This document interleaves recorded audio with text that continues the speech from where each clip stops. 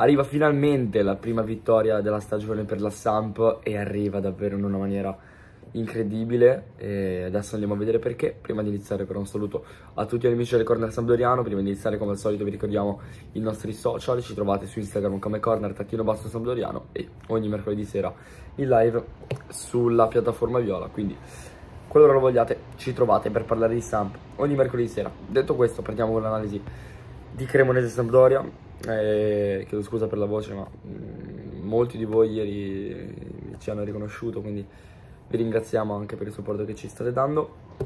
E quindi ero a Cremona e mm, ho dovuto rivedere la partita perché non, non si è visto niente tra bandiere, emozioni del momento per avere a lucido un'idea chiara della partita bisognava assolutamente riguardarla. L'ho fatto e bisogna esultare bisogna esultare perché appunto è la prima vittoria perché vai a 6 punti, perché dal punto di vista mentale ti dà quel qualcosa in più per affrontare la partita con l'Inter e bisogna esultare per chi ti è andata di culo.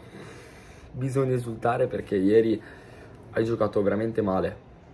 E penso che sia una delle samp brutte che abbia mai visto eh, in questa stagione, ma anche in generale. E, una Samp che ha provato a sviluppare il gioco non riuscendoci. Eh, giocatori ancora troppo lontani dalla porta, un Verri insufficiente, eh, difficoltà appunto nell'impostare questa manovra e inevitabilmente poi vai a regalare i palloni alla Cremonese che è una squadra che invece secondo me sa offrire un buon calcio, una, una delle uniche che gioca con la difesa a 5 quindi sanno raddoppiare bene, eh, dietro secondo me si muovono anche in una maniera eh, discreta, perciò questa Cremonese eh, secondo me non merita di essere nella posizione in cui si trova. Però, però è una cosa eh, che fa la differenza, che ha fatto la differenza anche per noi, hanno molta difficoltà nel fare gol. E l'unica cosa per cui ci è andata bene ieri sera, perché si parla di una ventina di tiri per la Cremonese, molti fuori di poco, eh, una Cremonese che comunque è viva dal punto di vista del gioco, dal punto di vista delle idee, è una Cremonese che comunque offre qualcosa, a differenza della Samp, che è una squadra davvero, abbiamo visto qualcosina, ma veramente a sprazzi. Mm, secondo me bisogna assolutamente cambiare, bisogna assolutamente provare a giocare come la Samp ha fatto eh, a Bologna nel secondo tempo. Ieri, da quando è entrato Iepes, più o meno abbiamo visto una stampa che qualcosina ha creato. Eh, e provare a mettere questo 4, fanatico 4-3-1-2 eh, è quello di cui la stampa ha bisogno perché eh, c'è necessità delle due punte. Eh, Caputo è un giocatore che non può stare da solo, l'abbiamo visto anche ieri, ha avuto una difficoltà incredibile nel gestire i palloni, nell'arpionarli, nel gestirli. Quindi è un Ciccio Caputo che sta facendo veramente molta fatica, è uno dei peggiori in campo di ieri secondo me, anche per colpe sue, perché secondo me in alcune situazioni poteva eh, cercare di muoversi in, una, in un'altra maniera, però vediamo, cerchiamo di vedere il lato positivo delle cose, che siamo ad ottobre, eh, fine ottobre, e adesso vai a San Siro che è un campo molto difficile, eh, l'Inter è una squadra che secondo me dopo le prime difficoltà sta ritrovando una quadra, perciò assolutamente bisogna cercare di riordinare le idee per fare comunque una determinata figura a, a Milano. Partiamo però mh, dal vedere cosa è successo ieri perché abbiamo visto eh, una Cremonese che appunto ha creato subito, tanto per cambiare, un rigore eh, a favore della squadra avversaria della Sampdoria. Non è mai capitato quest'anno, non è mai capitato. Mai, mai, mai. Ormai si parte quasi dal meno uno per la Samp. E... Rigore che secondo me non c'era, nel senso il pestone c'è, però eh, è in una circostanza che il difensore cosa deve fare? Deve togliersi la gamba. Cioè, vabbè. Comunque, sono pensieri e ne parleremo in live su Twitch.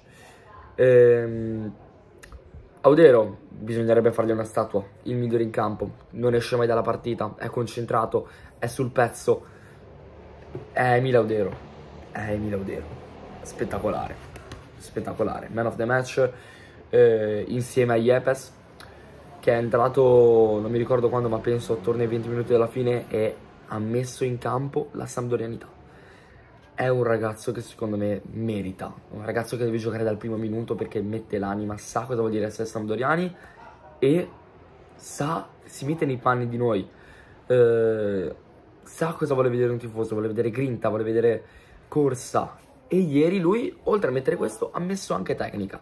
Ed è un giocatore che secondo me deve crescere ma troverà veramente molto spazio, è un ragazzo in gamba, io spero di poterlo vedere, eh, perché no, anche a Milano eh, non avrei tolto Rincon, però mh, mm, bisogna analizzare questo secondo me di ieri.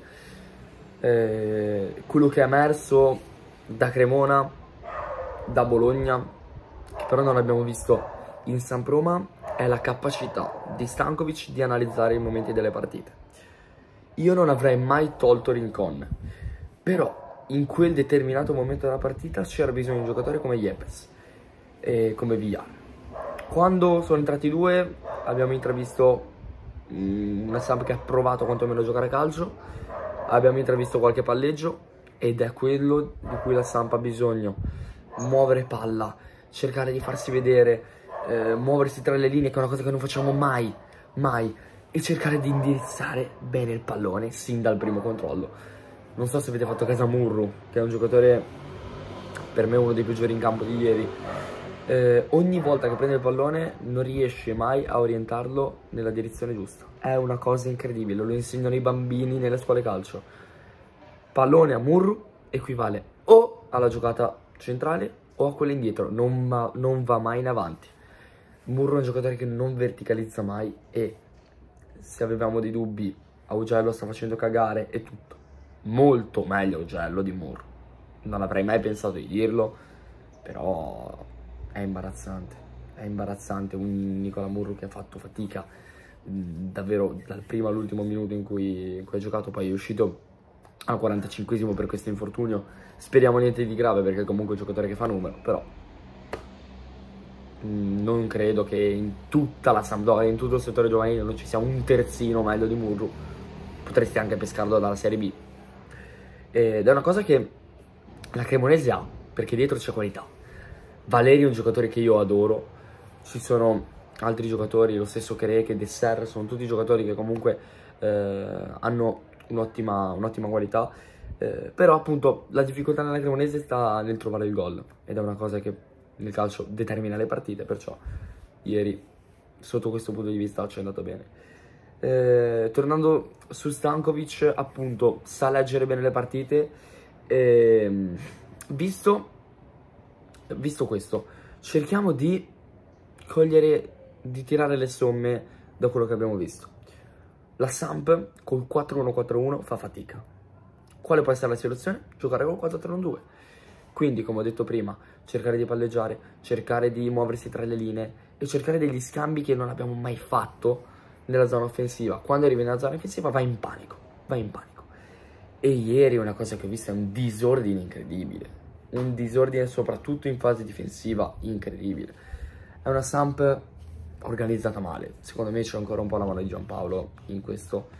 Ehm, però se la Samp gioca male con Stankovic, la Samp gioca male con Giampaolo, è la conferma che Giampaolo ha sbagliato, assolutamente, Stankovic ha già fatto molto più di Giampaolo, però ti fa capire che comunque la squadra, il livello tecnico è ancora basso. È una vittoria che comunque ci dà questi tre punti fondamentali, sono fondamentali.